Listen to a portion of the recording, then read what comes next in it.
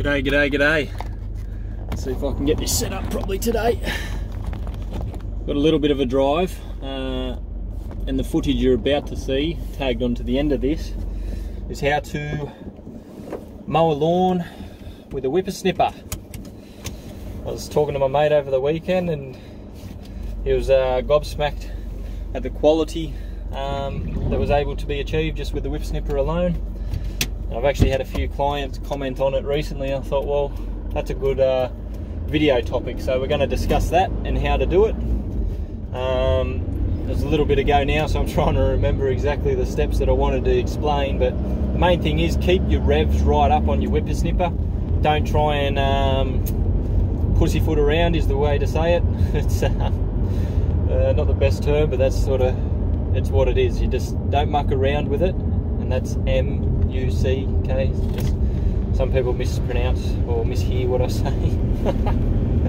and uh, yeah, so no stuffing around at all with the revs. Just get it up there. Be mindful of where you're flinging your debris because if you pick up a rock in amongst the grass, it's gonna it's gonna shoot pretty far. Um, being at full revs, and your cord is going to be slightly longer than normal. That's another tip because you can cover a wider um, your swarf just it covers such a, a bigger, larger area um, when you got your line a little bit longer. So that's um, the nuts and bolts of it. Another thing is obviously control, not to dig in, follow the contours of the land, but also act as if you are. Sorry if you can hear that too. It's, uh, I'm uh, on my way out to a new property, so not exactly sure where I'm going on this one. And uh, yeah, you just want to carry it through as if it was the mower um, cutting it. And that way you know your deck's so so wide, that means that you need to cover it with your whippersnipper and just come through. If it means not dipping down to follow the contours exactly, then that's what you got to do to create a uniform finish. Um, and it's quite easily done and it's very handy to know because if you're ever unable to get a mower down there, which I was today, it's a steep driveway, it was wet, um, a lot of reasons why you don't want to mow sometimes. Uh, and it's just hard to get the mower in there, simple as that. You, you want to um, be able to have this skill up your sleeve to then be able to do that. You don't miss out on doing that lawn um, and you give a great finish. Sometimes it works out quicker. I've got a couple of properties now where I've got the larger zero turn out the front, but it's got like small courtyards out the backyard, and I just jump from one to the next with the snipper because by the time I get back out the front to get the little push mower, I'm already done the snippering. So the final thing I'll make mention of is blow it all down at the end. Uh, usually when you're mowing and even when you're mulching, you don't have to blow the top of the grass off unless you're taking a fair bit off. In which case you do on main areas and other bits where it's left, it, will be fine, 100% fine. And with the whip snipper, however, you're taking a little bit more off. The cut isn't quite as clean as a um, mower would be. Obviously a cord versus uh, a blade, but if you're using uh, a squared cut line or what I use is a hexagonal line, I find they give a razor cut, especially at full revs. It's when you slow down and it, it, it wraps the grass around itself. It, it doesn't um, doesn't like doing that. So yeah, without further ado, we'll shoot on to the footage now, and uh, I'll be back in a moment and then we'll add that to the end for the final word on what's happening today and what happened, all the exciting things. All right, whoosh.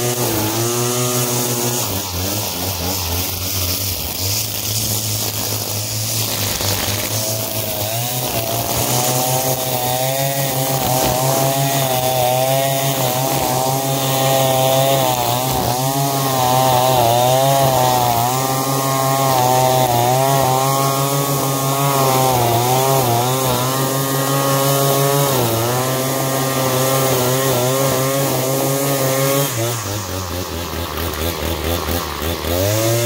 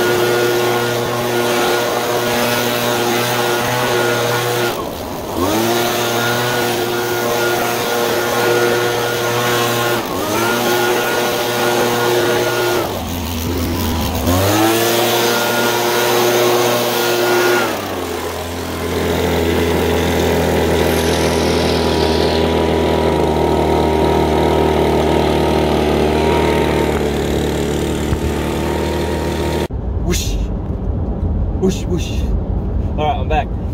Um, what happened today was, after doing all these lawns, I've got hedging works out here to do for this new client. Um, I'll at least get that done, depending if the lawn is too wet to get on. Um, I'll get on that probably Thursday or Friday. So with this um, leading into winter business and how how to go around it, my diary's pretty much stocked up um, all through winter. It's just it depends on how profitable you want to be, is to how far you want to push it. Like I was home about 12:30 yesterday. It was still around the 550 mark I made for for that period of time. Um, and being a public holiday yesterday, I don't like to work too hard on the public holidays because I take my holidays when everyone else is at work. That's just how I've worked the business. Um, unless it's a sort of Christmas Day type scenario and things like that, then I make a point of not not working them days, obviously, and Christmas Eve. That's an inside um, inside joke, if you know what I'm saying about Christmas Eve. I'll almost let you know. First house, uh, I put a tomahawk into my knee, and it was Christmas Eve. I was using power tools, using all this other, so we just got a rule, and there's no work to be done Christmas Eve from now on. That's the main reason why. Uh, you didn't really need to know that, but now you do. So, yeah, with these other jobs, I've got painting works, deck restorations, all the rest. And a lot of my clients have been really helpful, and it's very unexpected because I'm already booked into winter and like July, August, and then come September, it's it's guns blazing, it, it's going hard again, and probably harder than we've ever gone before. To be honest, I'm going to push it to a limit that I've never gone to on my own, so that's where the extra pair of hands will be coming in. Um, and even when I did have extra pair of hands before, we've never pushed it to the extent of 20 plus lawns a day and things like that. And the reason for that was we never had the ride on. So enough getting off topic. Off topic. With the um, painting jobs and everything else, all the clients have come through uh, and spoken to me said, "Oh, how busy do you want to be, or what, what do you want? Like, um, how much work would you like us to give you?" Type. And that, that's massive. That's huge for a client to be able to do that and say that. It's um, again very humbling, very very courteous of everyone to know that things are going to be slowing down. The business might be hurting, or and luckily for me, I, have had plenty of clientele, and I, I sort of book out months in advance. A lot of people I follow, a lot of people I talk to are sort of weeks at the most in advance, and I just prefer to be months booked out if anything was to go wrong. And something like this big restoration job, we've had to add things to it, so if the quote no longer suits, I've got all these other works that I can draw on um, and fill that. It's never like, oh no, we've, we've, we've lost a big job there. Like, how are we going to fill it? What we're going to do on that week? Like, it's straight away. There's always someone or something to do. I highly doubt if we're doing any work out here. It's bucketing here. Again, bucketing. I'm not swearing on YouTube. It doesn't, doesn't uh, sit well with the viewers. Alright guys, I think uh, that'll do. I've got to concentrate here. It's very, very heavy. The ocean's about five kilometres to the left of me. And where I'm going is right on the ocean, so I think it's just going to stay coastal the next couple of days. Luckily tomorrow I'm back in at Wauchope doing lawns. See how many we get done. I've got time Thursday uh, up my sleeve and I've got time Friday if I need to swap things around just to fit in these lawns and then I'll add whoever was for Thursday and Friday to next week. Just the way the cookie crumbles, you know, sometimes. Alright, we'll leave it there.